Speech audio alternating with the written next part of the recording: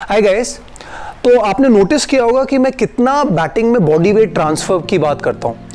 मैंने पहले भी एक वीडियो बनाया था जिसमें मैंने मेंशन किया था कि एलीट प्लेयर्स जो होते हैं वो लोग विदाउट मूविंग द फीट कितना अच्छा बॉडी वेट ट्रांसफ़र करते हैं, कितना अच्छा बॉल को टाइम करते हैं। तो अगर आपने वो नहीं देखा हो तो आप यहाँ पे देख सकते हैं। एंड आज मैं आपको ड्रिल्स बताना चाहता हूँ जो बहुत इंपॉर्टेंट है और जो बहुत अच्छे ड्रिल्स हैं to improve your body weight transfer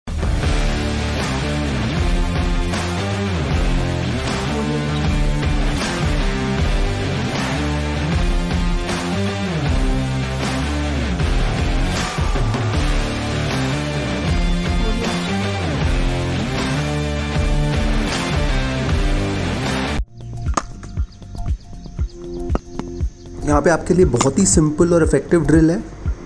जैसे आप अपने प्रैक्टिस पे अंडर आर्म ड्राइव्स मारते हो थ्रो डाउन्स करते हो, आपको वही चीज़ करनी है बट डिफरेंस ये रहेगा कि आपको टेनिस बॉल से करनी है और लाइटर टेनिस बॉल से करनी है। बॉल जितना लाइट होगा, उतना कंट्रोल डिफ़िकल्ट होगा। अगर आपका बॉडी वेट ट्रांसफ़र परफेक्ट नहीं हुआ तो बॉल एयर में जाएगी।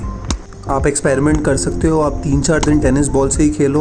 सिर्फ़ नॉकिंग करो टेनिस बॉल से। एंड उसके बाद फिफ्थ डे पे आप लेदर बॉल से खेलोगे तो आप देखना ऑटोमेटिकली आपका वेट ट्रांसफ़र बेटर होगा। ये शॉट एक बहुत अच्छा एग्ज़ाम्पल है। आप देख सकते हैं कि वो अच्छा खासा बॉल पे आए हैं, लेकिन जस्ट हल्का सा पीछे रह गया इसीलिए बॉल एयर में चला गया। एक सीधा रिफ्लेक्शन था कि आप बॉल पे ठीक से नहीं चढ़े थे। ऑन दी अदर हैंड इस बॉल पे आप देख सकते हैं कि हेड बॉल पे आ रहा है। वेट ट्रांसफ़र परफेक्ट है and the ball is along the ground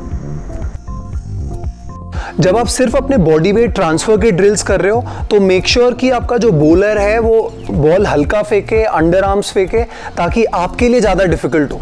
आपके जो ड्राइव्स हैं अंडर आर्म्स में अगर आप बॉल पे चढ़ के नहीं मारोगे, तब तक आपके शॉट्स पूरी तरह लगेंगे नहीं। ऐसे टाइप के बॉलिंग में आपका सर पूरा बॉल पे जाना चाहिए, आपका पैर पूरा जाना चाहिए, तभी आपका 100 परसेंट चढ़ के ड्राइव लगता है। अब कई प्लेयर्स का अलग स्टाइल में बॉडी वेट ट्रांसफ़र होता है but ultimately what matters is the impact of bat and ball किस टाइम पे हो रहा है। For example, we all know that Saurav Ganguly has been one of the best offside players in the world, superb cover driver. But जब आप देखोगे उनके cover drives को उनके shots को तो उनका जो बैट का फेस है वो एयर की तरफ़ पॉइंट करता था शॉट के बाद। बट उसका ये मतलब नहीं है कि वो बॉल एयर में जाता था। रीज़न बीइंग कि उनका जो बैट और बॉल का इम्पैक्ट होता था वो बिल्कुल परफेक्ट टाइम पे होता था। लाइक एवरीथिंग इन क्रिकेट यहाँ पे हेड का मेजर रोल है। हेड स्टिल के भी मैंने बहुत वीडियोस बनाए हैं। अगर आपने नहीं देखे तो यहाँ पे देख सकते हैं। लिंक डिस्क्रिप्शन पे। आप अपने प्रैक्टिस और मैचेस को सेपरेट रखो। जितना ज़्यादा आप ड्रिल करोगे, उतना ज़्यादा ये स्किल आपके जहन में जाएगा और उतना बेटर आपके शॉट्स होंगे। तो इसके लिए आप एक एक्सरसाइज कर सकते हो। छः दिन लगातार आप टेनिस बॉल से ये ड्रिल करो और सातवें दिन जब आप लेदर बॉल से करोगे तो आपको डिफरेंस दिखे या ना दिखे, आप प्लीज़ कॉमेंट डालना और मेरे को बताना। I'll be very very interested उम्मीद है ये वीडियो आपको अच्छा लगा और आप इससे कुछ सीखे हैं। अगर आपको ऐसे और वीडियोस देखने हैं तो आप मेरा चैनल सब्सक्राइब कर सकते हैं द क्रिकेट मैनुअल तब तक अगले वीडियो में मिलते हैं।